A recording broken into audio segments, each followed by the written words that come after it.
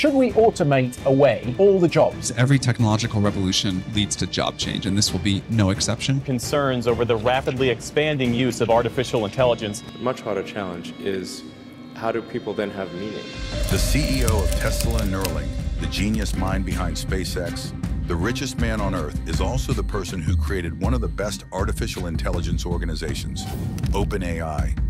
And now the man himself says there is nothing more dangerous than AI, not even a nuclear war. I think the danger of AI is much greater than the, the, the danger of nuclear warheads by a lot. What made him say this? Is there something we are overlooking that Elon is trying to warn us about? AI is dangerous. On this Earth, humans are the dominant species, our defining characteristic is our intelligence. We might be weaker than chimpanzees and less agile, but we are smarter. Now, what happens when something vastly smarter than the smartest person comes along in silicon form? Yes, it takes over. And Elon thinks this is going to happen soon. It is not very difficult to predict what will happen in the future because we are already seeing tiny bits of it. AI, or artificial intelligence, is getting better and better and better. These machines can now learn, adapt, and evolve. They can process information faster and more accurately than any human ever could. That's why Elon Musk thinks AI is so dangerous. More dangerous than nuclear war. Nuclear war is a known threat. We understand its devastating impact. But AI?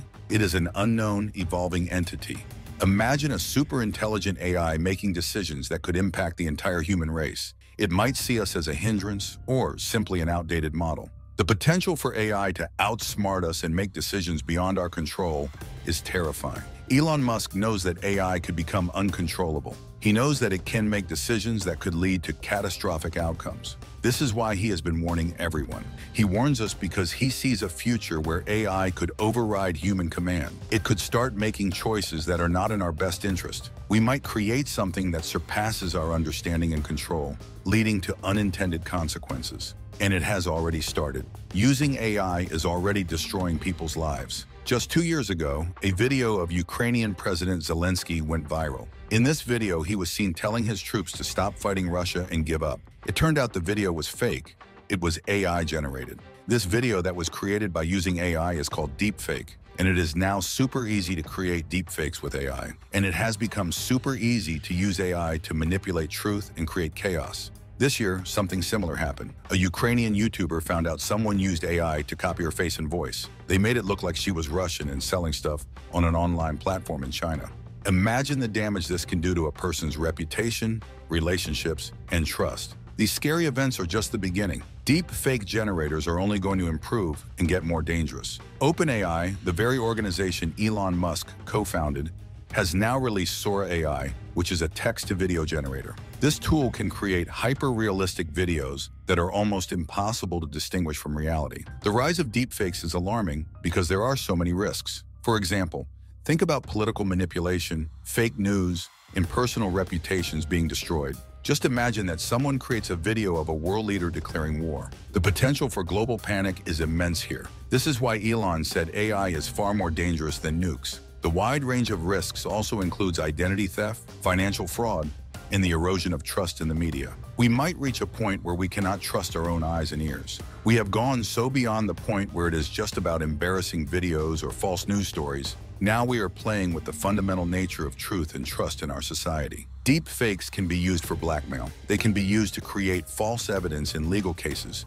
and even manipulate stock markets. Technology is advancing rapidly, and the tools to create these fake videos are becoming more accessible. We need to be aware of these dangers and take steps to regulate and control the use of AI in creating deep fakes. And all that started with an organization that Elon started himself. So if Elon knew this was going to happen, why did he help create OpenAI in the first place? The era of OpenAI. OpenAI is that groundbreaking organization that brought us ChatGPT back in November 2022. ChatGPT is an amazing technology that they created which went viral as soon as they introduced it to the world. Here, Elon Musk was one of the co-founders of OpenAI. In fact, he was the one who suggested its name. But Elon is not with OpenAI anymore, so Why, after creating such a money-making machine, did Elon leave the company? You see, OpenAI wanted to create and promote friendly AI for everyone's benefit. They wanted to make smart robots, yes, but they also wanted to make sure these intelligent machines are safe and helpful.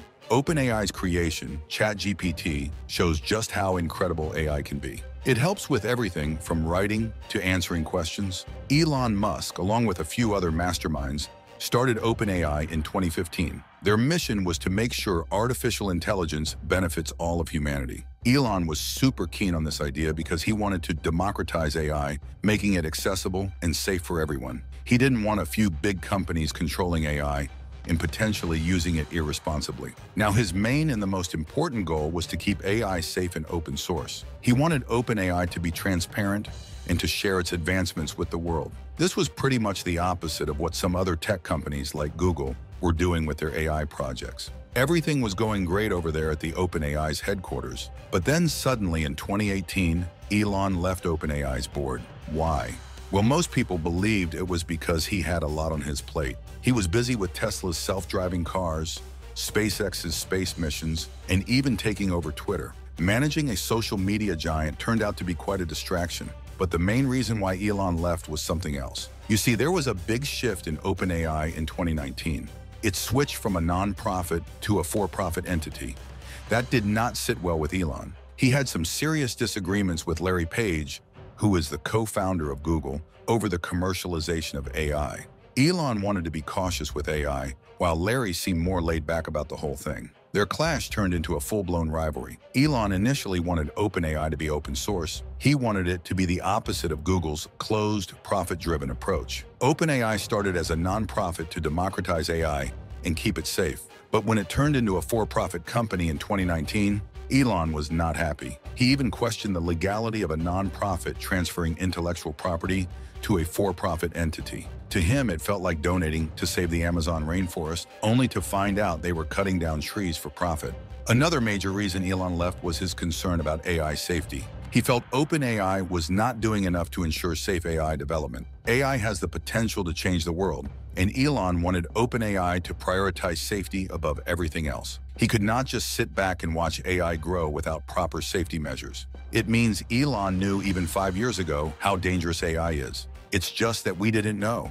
And now he is warning everyone. While he is doing this, he is creating another monster with his AI projects. For now, he is promoting it. But will he change sides in the future like he did with OpenAI? Neuralink. Neuralink is one of Elon Musk's most ambitious and fascinating projects. It is a neurotechnology company founded by Musk in 2016. The company's mission is to develop implantable brain-machine interfaces, or BMIs, which will help bridge the gap between humans and computers. So what does that actually mean? And why did Elon start this company? The company wants to create advanced brain implants that can connect the human brain directly to computers. So in a way, you will be able to control your devices just by thinking about it. That's the kind of future Neuralink envisions. This technology is not just for controlling your smartphone or playing video games with your mind. It has the potential to advance medicine and enhance human capabilities in ways we never thought possible. But how exactly?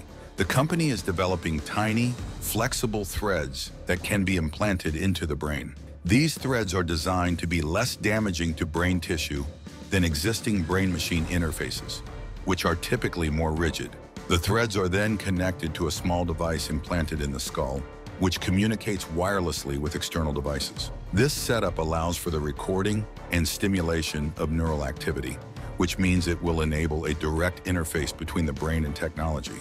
Looking at this amazing technology, we can think of so many benefits, especially in the medical field.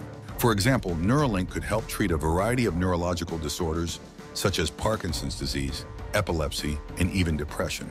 If we could directly stimulate specific areas of the brain, it may be possible to alleviate symptoms or even reverse the effects of these conditions. We could also help individuals who have lost their ability to see, hear, or move due to injury or disease. They could regain these functions through this technology. Neuralink could potentially bypass damaged nerves and send signals directly to the brain, restoring lost capabilities. Beyond medical applications, Neuralink could also improve cognitive functions like memory, learning, and attention. This could be beneficial for individuals with cognitive impairments, as well as those looking to boost their mental performance. However, like any powerful technology, Neuralink comes with its own set of risks and ethical concerns. Elon Musk started Neuralink with a big vision in mind. He has been very vocal about the potential dangers of AI, and Neuralink is part of his solution to this problem. He believes that by enhancing our brains with technology, we can keep up with the rapid advancements in AI and even integrate with it in a beneficial way. Basically, Neuralink aims to make sure humans are not left behind in the AI revolution. But this does not mean there are no dangers. Just think about it. Someone would have direct access to our brains. There are going to be significant worries about privacy. How do we ensure that the data collected from brain activity is secure and not misused? The potential for hacking or unauthorized access to someone's thoughts is a serious issue that needs to be addressed. On top of that, the ability to enhance cognitive abilities and restore lost functions raises ethical questions. Who gets access to this technology? Could it lead to a societal divide between those who can afford enhancements and those who cannot? This has further worried us. We were just worried about AI and OpenAI's new form of AI generators every day. Now we are worried about Elon stealing our thoughts. And it's not just us. Even the environment is not safe. Do you know how AI is destroying our Earth? AI and environment? You might not realize this, but AI is a massive energy hog. Take ChatGPT, for example. A single Google search uses about half a milliliter of water, but ChatGPT needs 500 milliliters of water for every 5 to 50 prompts just to keep its servers cool. That's a huge difference. The energy consumption is even crazier.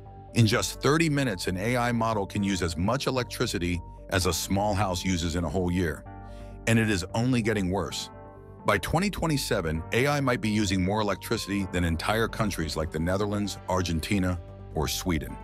That's a big deal because it means more power plants, more pollution, and more strain on our natural resources.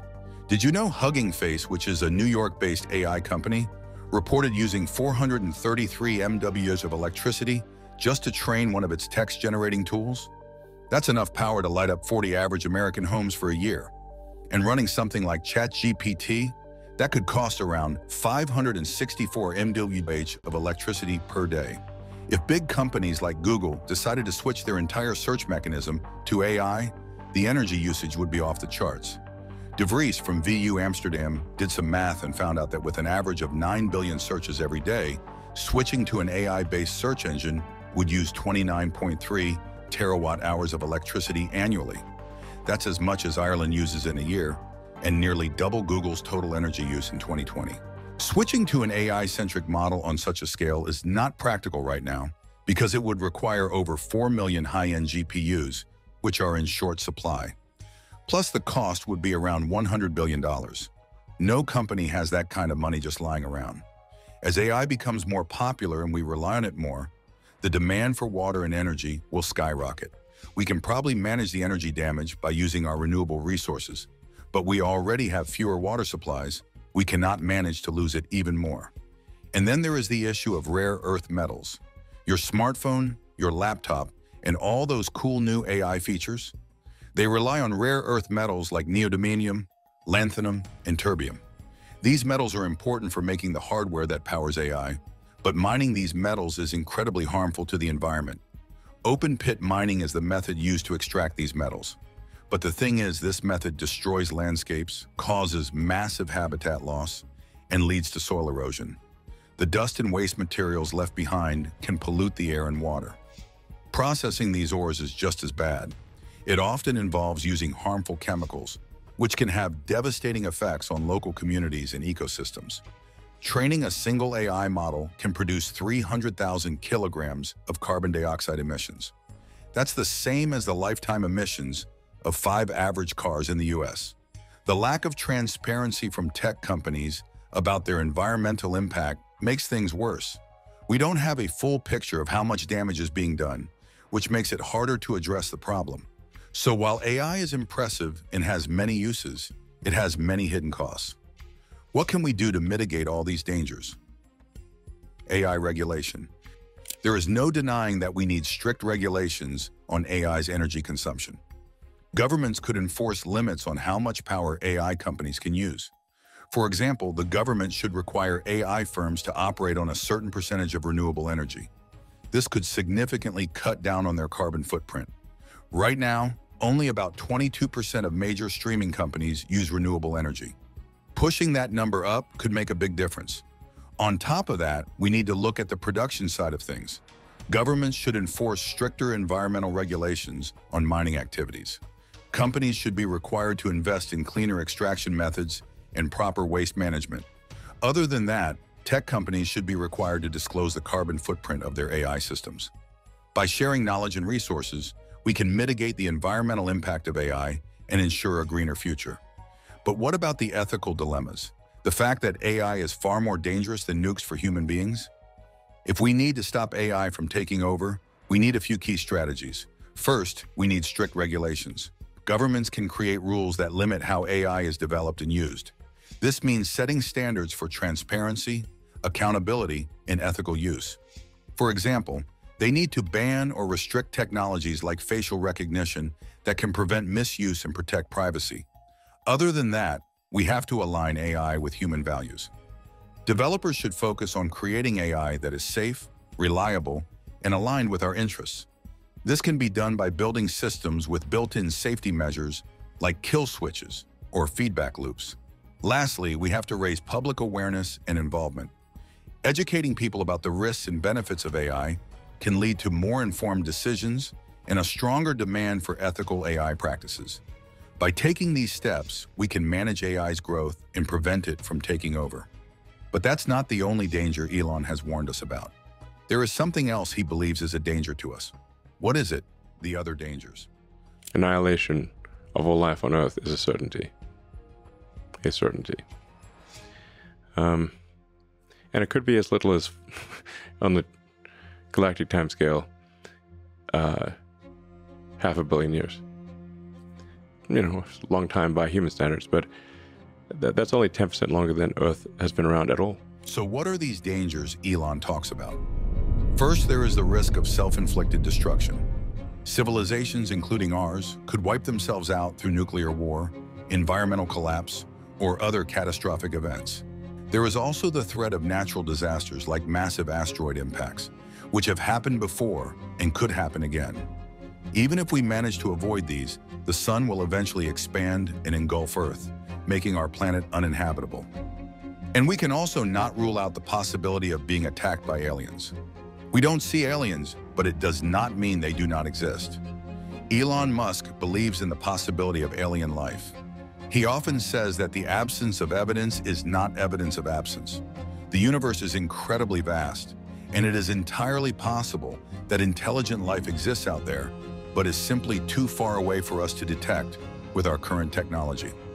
Another idea is that advanced civilizations are using technology beyond our understanding, making them invisible to us, or they may be deliberately avoiding us. But will they avoid us forever? No, we cannot know this for sure. This is why we need a solution, a solution that can secure our survival against the threats facing Earth and also increase our chances of discovering and possibly interacting with extraterrestrial civilizations. What is this ultimate solution that Musk has suggested? Musk's solution? And I think we may find that there's, there's many one planet civilizations that died out millions of years ago and never made it to the second planet. We, we just, I think we want the, the light of consciousness to not be extinguished if something were to happen to Earth. Where, and, and, you know, in the case of the dinosaurs, they only had to worry about like, you know, meteors and supervolcanoes and other things.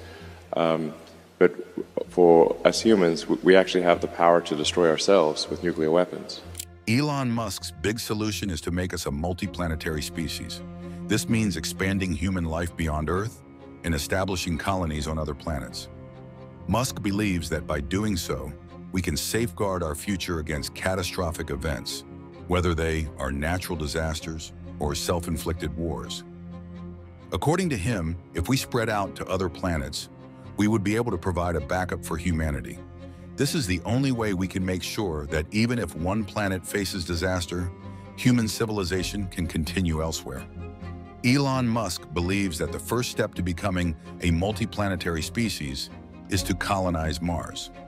According to Musk, Mars is the best candidate for colonization because it has a day similar in length to Earth's, possesses water in the form of ice, and has the potential for sustainable life. His dream is to create a self-sustaining city on Mars. Complete with homes, industries, and everything needed for human life. This would be humanity's insurance policy against any existential threats on Earth. But cannot just pack up and leave, we need to make Mars livable, and Musk has plans to make that possible as well. Even the first part of his plan is wild. The man wants to nuke Mars poles. The idea is to release enough carbon dioxide to warm the planet and create a thicker atmosphere. Scientists, however, are not convinced by this. They think it is a bit too far-fetched.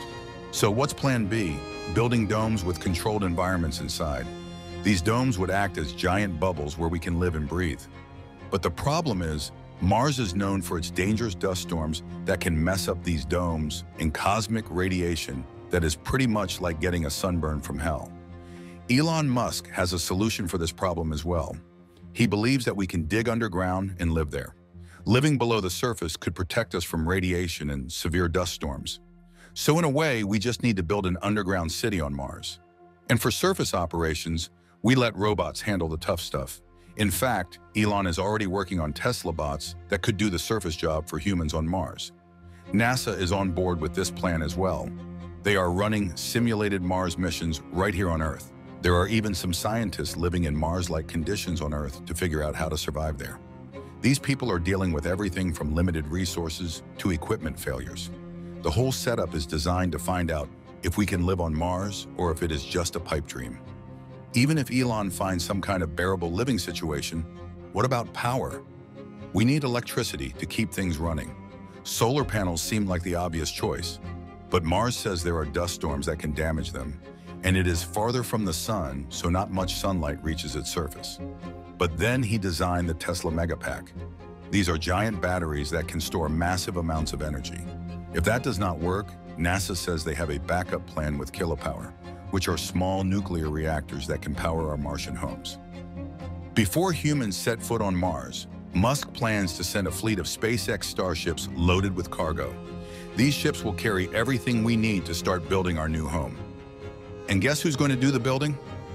Robots. Tesla's Optimus robots will handle the dangerous and boring tasks. They will prepare Mars for humans in advance. Elon Musk believes if this plan works, we don't have to worry about anything. Aliens, disasters, rogue AI, whatever comes at us, we are ready for it. And don't worry, we don't have to wait for a lifetime to see it happening. Musk believes that we could see a team of humanoid robots starting to set up a colony on Mars as soon as 2028. Elon Musk's solution is bold and visionary. It will push the boundaries of what we think is possible. But what do you think? Is Musk's plan the way to go? Or should we focus on fixing Earth first? Do you have any other ideas? If so, share them with us in the comments below. And if you want more mysteries uncovered, go ahead and like this video and subscribe to the channel, because we have got a lot more of this. Thanks for watching. Goodbye.